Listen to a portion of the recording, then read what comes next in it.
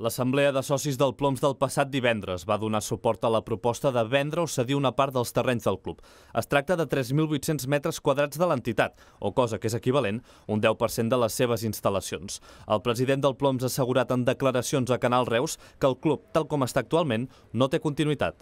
Uh, si no fem instal·lacions noves, vull dir, el Ploms eh, té un...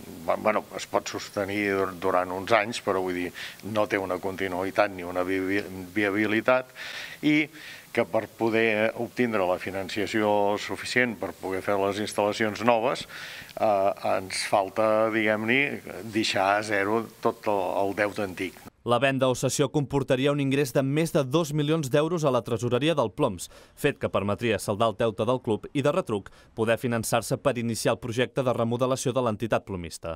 El cost total de les inversions pujaria fins als 5 milions d'euros. Es va presentar un pla de que tot l'edifici que va a, a Maria Fortuny, on hi ha la piscina, aniria a terra, allí es faria un edifici nou, amb piscina nova, gimnàs, local social, oficines, climatització de la piscina de 50 i inclou millora de, les, de la resta d'instal·lacions. L'entitat ha contactat amb diverses empreses per poder ocupar els terrenys, entre les quals s'hi troba Bidding. Entre la pandèmia i la nova piscina municipal que ha proposat el consistori, l'empresa s'ha fet enrere.